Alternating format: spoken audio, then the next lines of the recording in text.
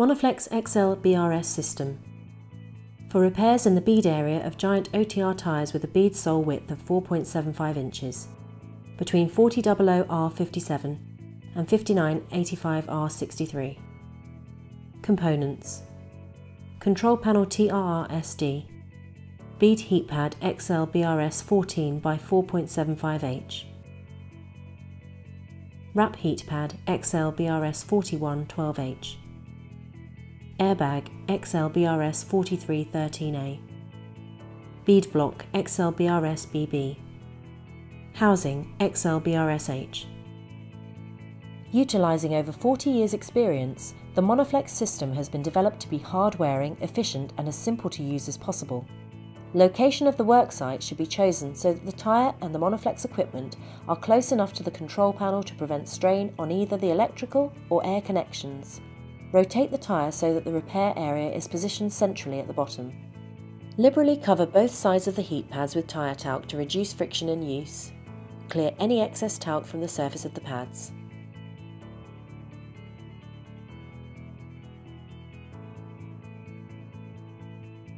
Fold the XLBRS 4313A airbag in half and locate the valve through the hole on the inner leg of the housing.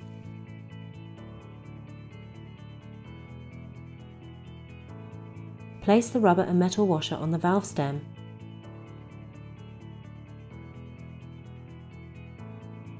and screw the valve nut down finger tight to hold in place. Screw the black air hose onto the valve and tighten with a spanner. Loosen the valve nut back up to the air hose after it's been attached to allow free movement of the covers beneath the metal frame. Before use, it's recommended that both heat pads are preheated to approximately 50 degrees centigrade or 122 degrees Fahrenheit to increase flexibility and aid installation on the tyre. Connect the wraparound heat pad XLBRS4112H to the left control lead and the bead heat pad XL BRS 14 by 4.75H to the right control lead.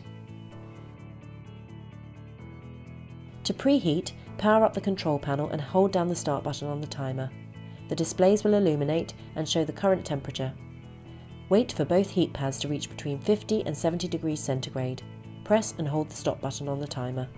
Place the bead heat pad centrally over the repair area with the labels facing down.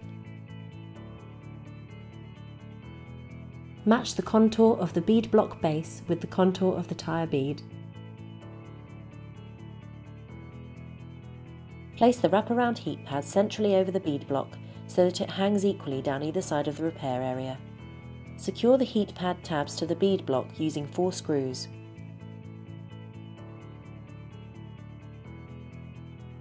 Take the inner leg of the XL BRS assembly and drop centrally over the component on the tyre. The frame should be standing vertically and the heat pads and airbags should be checked they are aligned and not folded over. Position the outer assembly so that the bars can be inserted through the receiving tubes.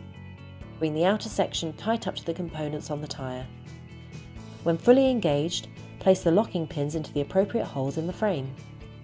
Connect the black air supply line to the black hose on the airbag.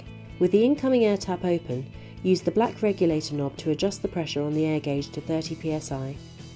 When set correctly, lock off by pushing the regulator knobs down to click. Prior to final inflation, check that all leads and electrical connections are securely connected and nothing is trapped between the system and the tyre.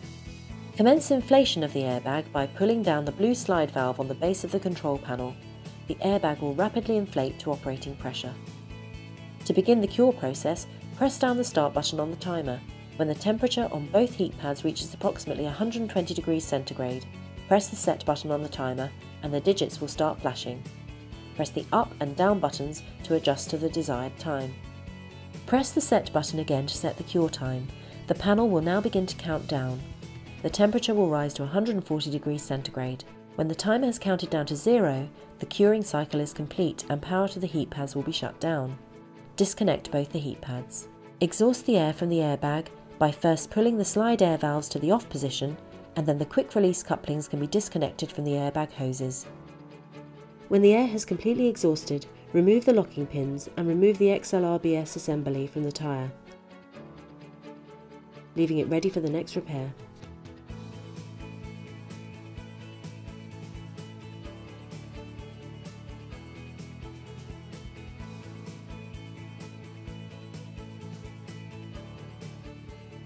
Points to remember. Always thoroughly dust both sides of the heat pads with talc before use. Do not lift the heat pads by the leads. Ensure heat pad is installed in the correct orientation. Never remove the locking pins until all the air has exhausted. Do not leave the equipment unattended. The power supply must be disconnected at the end of the working day. A better finish can be achieved by allowing the repair to cool below 100 degrees centigrade before releasing the pressure. Monaflex Tyre Repair Systems 40 years of industry-leading repair solutions. Monaflex offers complete repair solutions for any size tyre, quality components, exceptional durability and first-class global support and training. If you need further assistance, don't hesitate to get in touch via mail at monaflex.com or visit our website, monaflex.com.